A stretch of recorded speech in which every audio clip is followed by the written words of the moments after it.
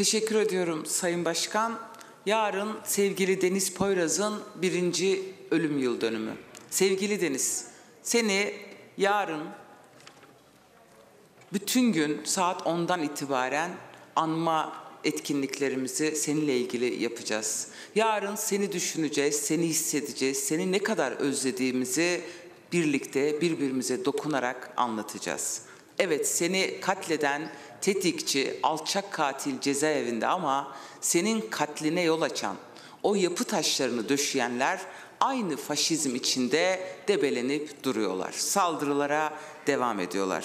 Tetikçi katili destekleyenlerden hiç kimse hala gözaltına alınmadı, tutuklanmadı ve maalesef korunmaya devam ediyor.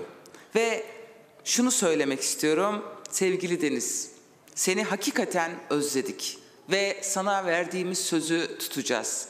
Bu ülkeye barış, adalet, özgürlük, eşitlik gelinceye kadar bıraktığın bayrağı yere düşürmeyeceğiz ve seni asla unutmayacağız.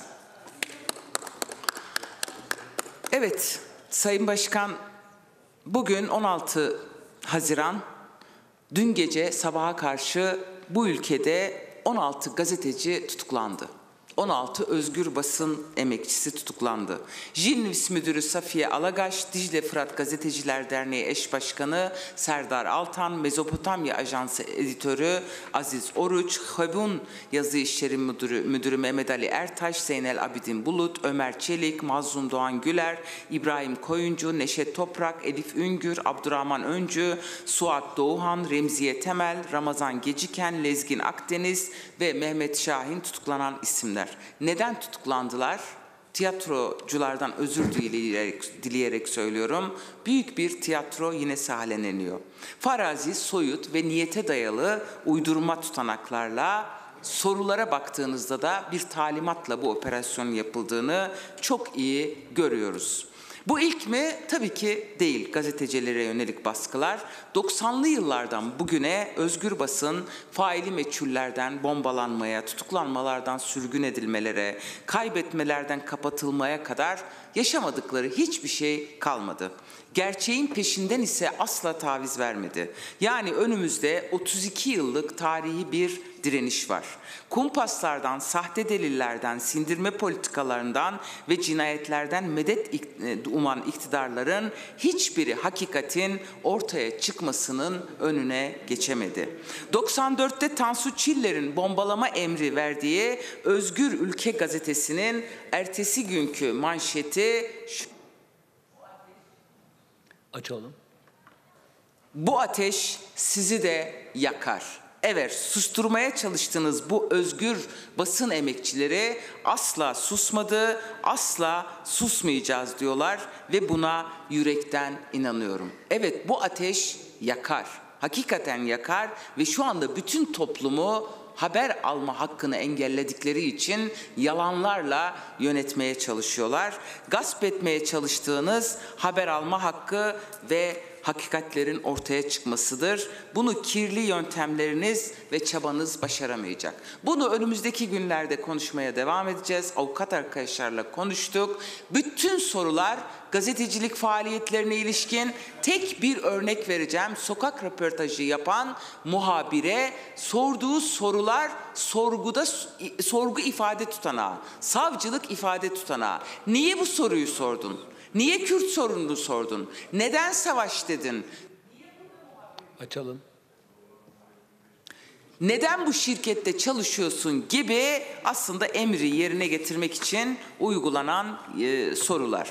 Sayın Başkan tabii bu uygulamalar bitmediği için biz de buradan söylemeye, teşhir etmeye ve buna karşın mücadele etmeye de devam edeceğiz. Bu sabah da İstanbul'da operasyon oldu. Onlarca arkadaşımız, yöneticimiz gözaltına alındı. Ya öyle bir korku ki her gün gözaltı yapıyorlar. Tutuklayın ya. 7 milyon seçmenimiz var aileleriyle birlikte 20 milyon insanı cezaevine tıkın. HDP bitecek mi? Kürt halkı bitecek mi? Kürt halkıyla dayanışma destek içinde olanlar bitecek mi? Yanılıyorsunuz. Dün başka bir olay. Van'da gebe bir kadın 6 yaşındaki oğlunun üzerinde Selahattin Demirtaş tişörtü var baskı halinde. Kadın darp ediliyor darp edilmesine karşı çıkanlarla birlikte gebe kadın çocuğu ve 6 kişi Toparlayalım. gözaltına alındı ya. Bir çocuğun tişörtünün üzerinde Selahattin Demirtaş e, portresi olduğu için eşkıyalıktır bu. Bunun başka bir izahı yok. Eşkıyalıktır ve bu düzen son bulduğunda bunu yapanlar yargılanacak. Biz de müdahil makamında olacağız. Bir çocuğun tişörtünün üzerinde görüp de saldırdığınız sevgili Demirtaş Van'da milyonlarla buluştuğunda siz adil mahkemelerde hesap vereceksiniz. Andolsun ki hesap vereceksiniz. Sayın Başkan Afyon cezaevinde bu açlık grevi var. 23. gününde 25 Mayıs'ta süresiz dönüşümsüz açlık grevi başladı ve bütün çağrılarımıza, bütün görüşmelerimize rağmen talepler karşılanmıyor. Ayakta sayım, insanlık dışı muamele, kitaplara el konulması, gelen mektupların verilmemesi, nakil talepleri ve daha birçok gerekçeyle bu talepleriyle açlık grevindeler. Tamamlayın lütfen. Bir an önce Afyon cezaevindeki süresiz açlık grevinin bitmesi için hukuka uygun bu taleplere uyulsun diyorum. Son olarak Sayın Başkan daha fazla ne yapabilirler demesin sevgili halkımız. Her şeyi yapıyorlar. İnsanlıktan çıkmışlar. Cenazelere yapılan saldırılar dorukta şu anda, dorukta. En son öncesine gelmiyorum. Dün oldu. Diyarbakır'ın Dicle ilçesine bağlı Pilejman Mahallesi e, sanırım kırs evet kırsalında Eylül 2021'de yaşamını yitiren Zindan Yeni'nin cenazesi saklama kabı içinde, saklama kabı içinde ailesine teslim edilmiş. Ya ne istiyorsunuz cenazelerden? Ölmüş. O cenazeden bir şey kalmamış. Daha önce kargo ile gönderilmişti. Şimdi bir anneye babaya saklama kabında cenaze gönderiliyor. Bunu lanetliyor musunuz? Bütün partilere söylüyorum. Bu uygulama insanlıkla, hukukla bağlı. Evet son kez açıyorum. Bitirin lütfen. Bu uygulamayı kim savunuyorsa çıksın mertçe söylesin. Ben bunu savunuyorum desin. Filistin'de İsrail hükümetinin emriyle gazeteci Şirin Ebu Akiler'in cenazesine yapılan saldırıyı herkes kınadı, kınadınız.